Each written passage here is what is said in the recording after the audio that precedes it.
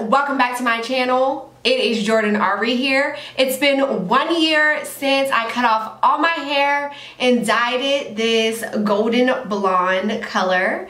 And we are back and today we are in my bathroom and I'm going to be showing you guys how I dye my hair again. But this time I really want to dye my hair without damaging the roots or coloring the roots not really damaging that's not the right word. I'm to be using the Creme of Nature golden blonde color again. I love this color. It's my absolute favorite go-to hair color. So i'm using it again. Um, it just always does right by me.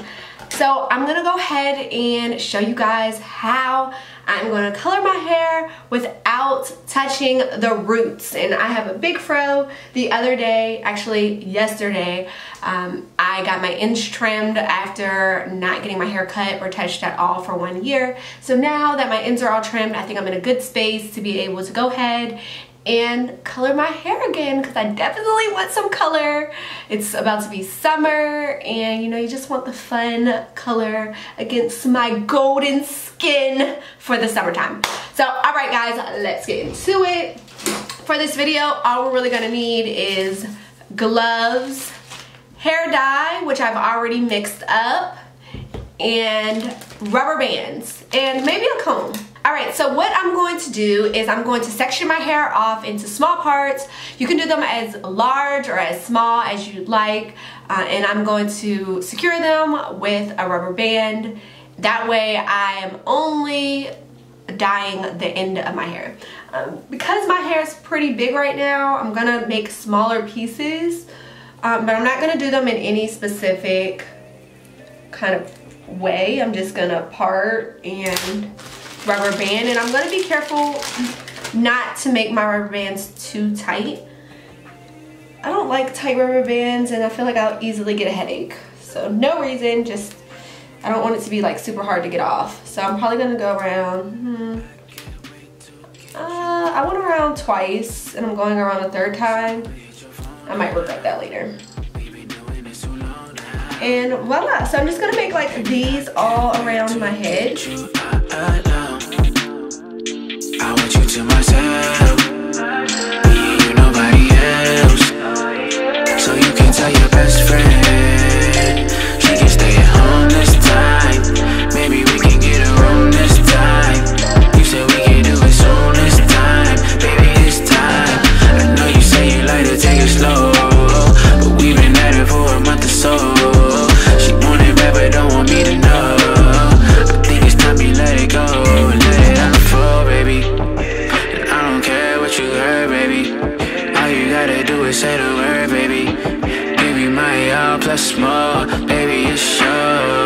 Yours,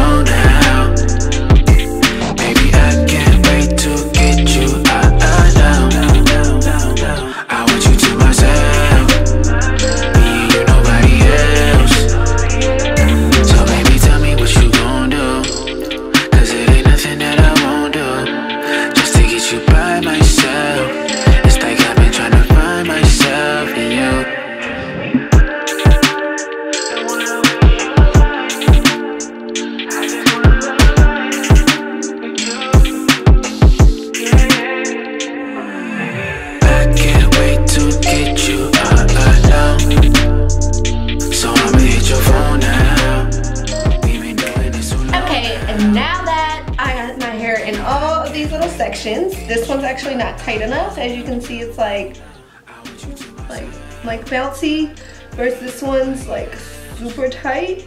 So I made them tighter as I went along so that I can make sure that I get closer to the root. So I'm gonna fix this one. Make it a little bit tighter. That way I can make sure I'm getting the color as close to the root as I possibly can. Cause I want it to be close, but I just don't want it to be the actual root. I like the grown out ombre effect look situation, what have you. I think that looks super cute. So that's what I'm going for. also, I didn't mention this at the beginning, I don't think, but I'm using the rubber bands versus hair ties because they're a lot thinner so we can get closer to the root versus if I had a thick hair tie such as this one, it'd be covering up a lot of the hair. So not using these, using rubber bands intentionally. Now that I got these all on, I am gonna go ahead in and put my gloves on.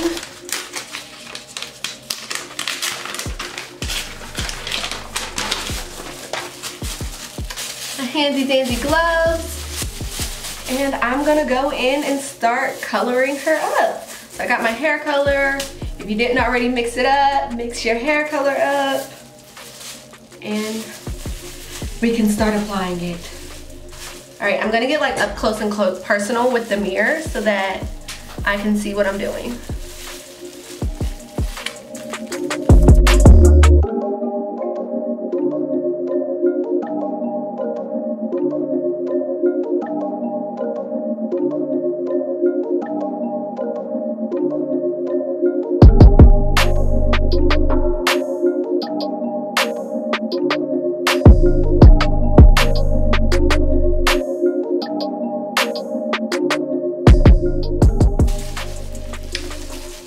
See with this one, it wasn't tight enough. So if you don't make your rubber band tight, it will come loose while you're trying to add the color to the end. So that's definitely a mistake I made in the beginning.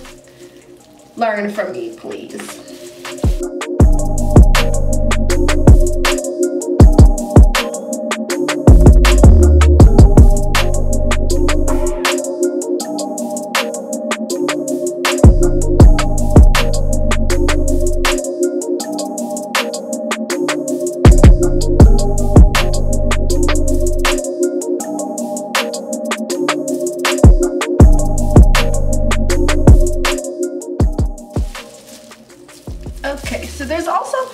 Possibility that you'll get color on your roots. So you can kind of just go like that.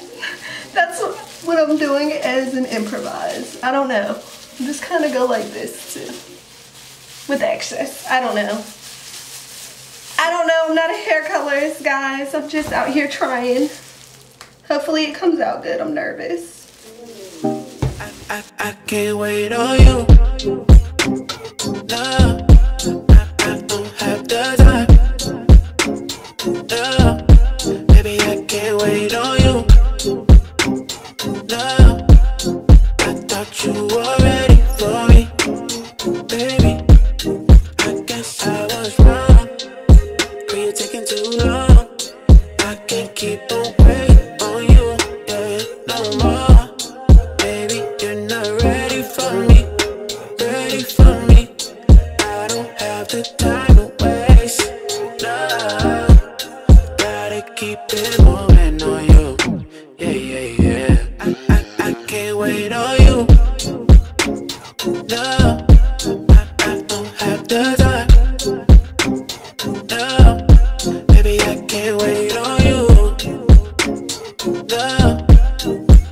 Thought you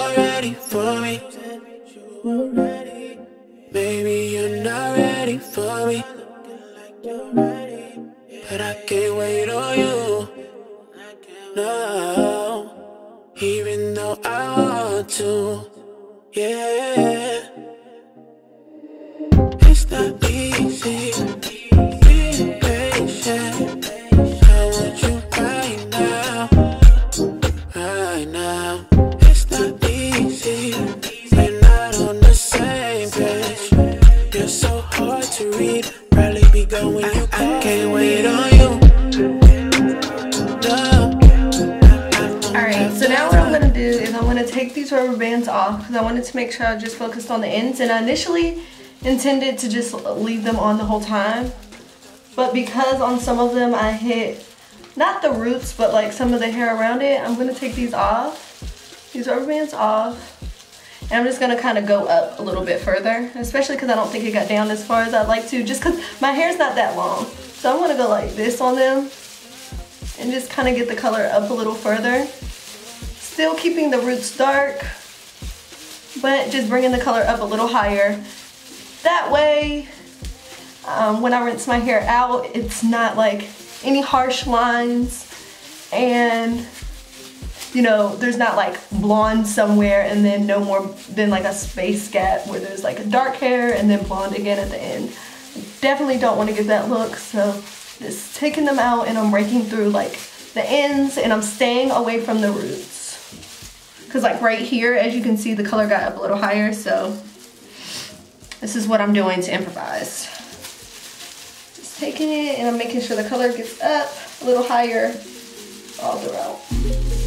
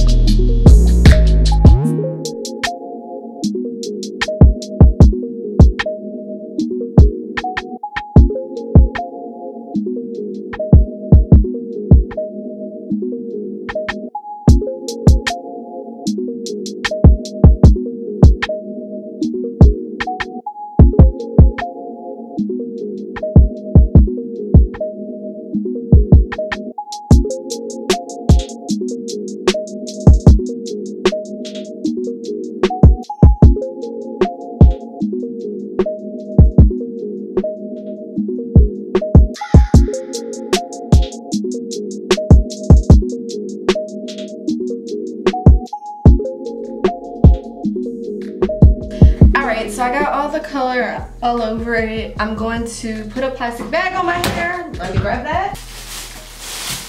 I'm going to put this plastic bag over my hair and put my heating hat thing on. All right, got my heating, my hat, my freaking, what is this, plastic bag on my head. Um, Okay, I just walked around my house looking for my hot head for like too long. So I'm just gonna sit under the dryer and check it from time to time. See how long it takes to process and I'll come back and show you guys what we got. Be back after being super frustrated, I'd like you all to know that I found my hot head and I put it on and I use this instead of sitting under the dryer and my hair has turned and I'm so excited and my roots, they are not blonde. Well, I mean, it got to the root a little bit on some of them, but I mean, I still have like dark roots along the edges, which is what I really wanted. As you can see, this is that part that got uh, blonde on it while it was still in the ponytail, which caused me to want to like bring it down further to, to get closer to my roots. Um, in the back, it still looks pretty dark, but I'm okay with that. The ends are light, which is most important. Um, yeah. I'm happy with it. I'm about to rinse my hair out and do a protein treatment and then deep condition it and all of that good stuff so that I can maintain strong, healthy hair. So as you guys can see, I successfully dyed the ends of my hair without touching the roots. I'm just showing you guys the front, the back, and the sides of my hair. Thank you guys so much for watching. I'll see you in my next upload. Bye!